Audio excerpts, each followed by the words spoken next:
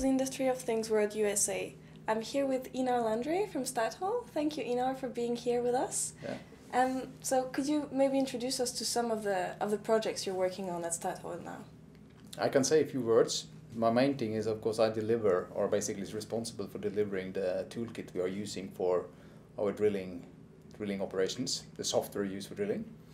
And in addition, I, I work also on the digitalization initiatives that's uh, driven from a strategic perspective. So that's the, the main two things I'm concerned with. Um, you just held a, a presentation, so thank you for the Yeah. for the insights during the, the stream sessions. Could you introduce us a little bit more into detail into the topic that you presented? That I, I can do that. It's uh, we see that when it comes to, of course, the industry of things, Internet of Things, and it's all about software. And with software, we also end up with uh, both an uh, opportunity side and also a challenge side.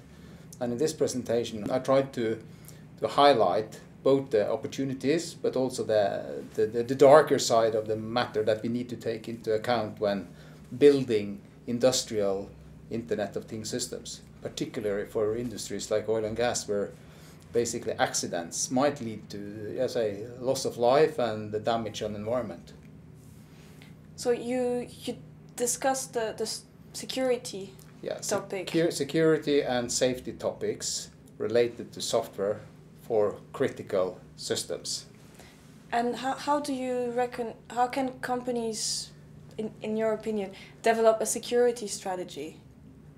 What we propose, or I propose in this presentation, is to address these aspects through systems engineering early on.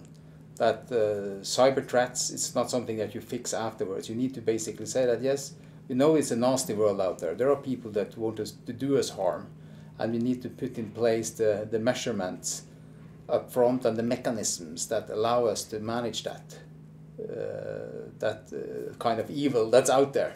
That's that's the instead of try to fix it afterwards, and then you always be be behind.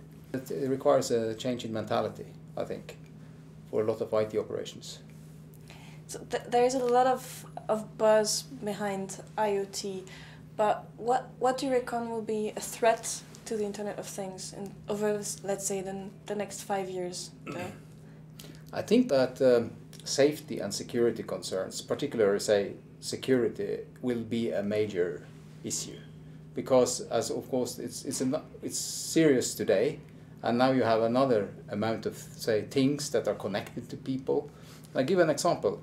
There's a researcher in Norway. She had uh, the she had was left with a pacemaker, and discovered that this pacemaker has APIs for programming. And okay, would you like to have an instrument that's basically run your body that somebody some from somewhere can connect to and do something stuff with it? That's not uh, that's not good, and it's at least a bit scary.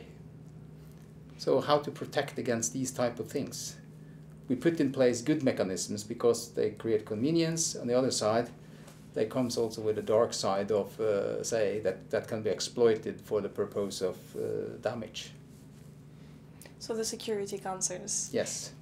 Um, so you've been with us at Industry of Things World in Berlin Yeah. last September, and you're here now in, in San Diego for the first USA event. What do you think of the of the event format? I like it. I like it. I think that it's been uh, the the one the first one in Berlin was quite uh, quite good, and the same as my experience this far. You, good speakers, and uh, yeah, interesting topics. And how would you describe the community that you're meeting here at Industry of Things World USA? I think it's quite a lot of say European.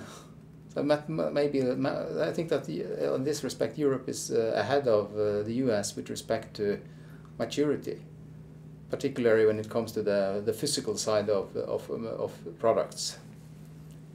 I think that's the the main difference.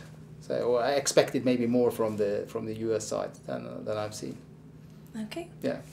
Well, thank you very much, Einar, and we're looking forward to your Word Cafe session tomorrow. Yeah. Thank you. Thank you.